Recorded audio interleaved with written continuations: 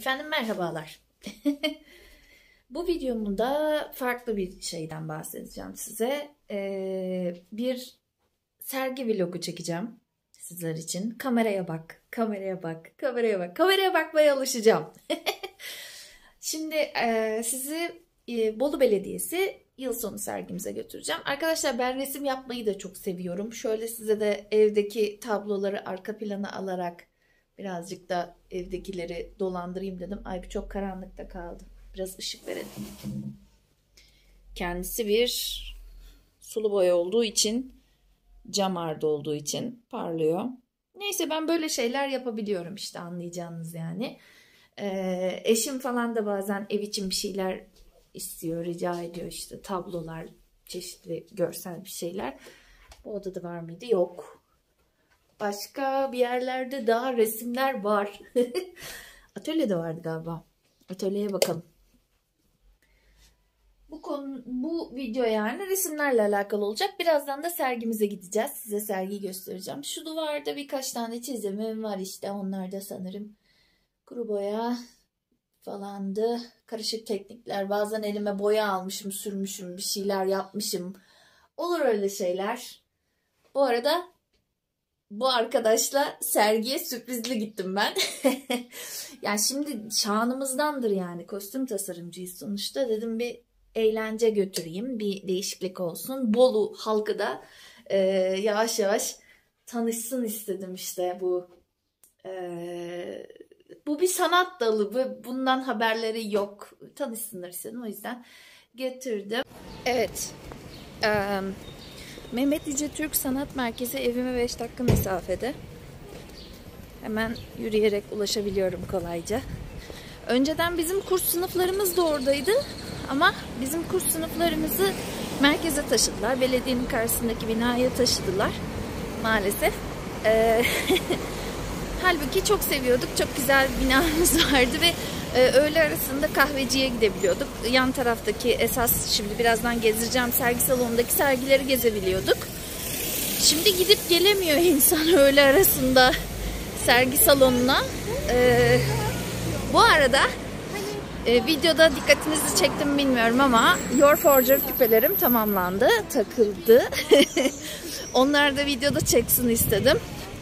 E, dolap ve Etsy kataloglarımda listelenecekler yeni ürün olarak bugün. Gün içinde ben onların fotoğraf için çekimlerini de tamamlarım ve yüklerim efendim.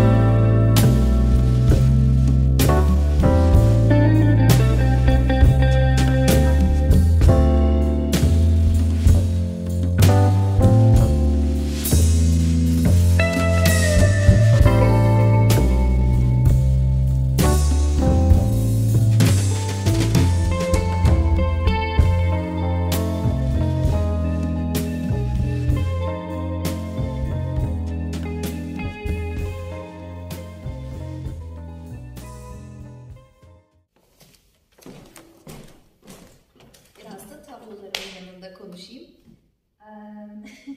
bu yıl 3 tablo çalıştım. Sulu boyalarım da var onlar hariç. Daha bir ton işte mürekkep, kara kalem gibi çalışmalarım da oldu ama e, tablolardan bahsedelim en iyisi.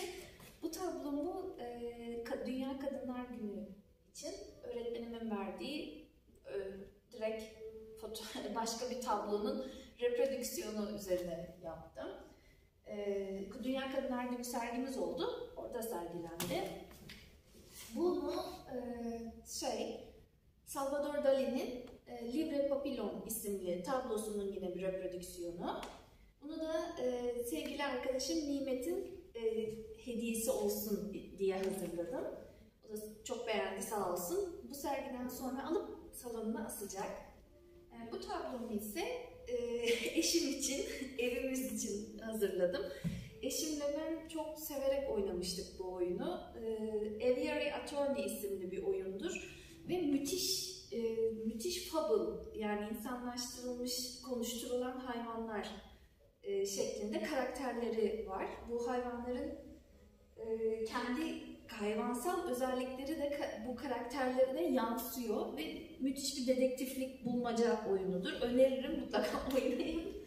E, bunu da kendim tamamen renklerine karar vererek çünkü oyunun içerisinde bu görseller sepya oluyor. Yani böyle kızıl kahve bir renkte oluyorlar. Ben kendim bu şekilde tablo haline getirdim. Bu da bizim evimize asılacak olan tablo. Öyle videoyu izlediğiniz için çok teşekkür ederim.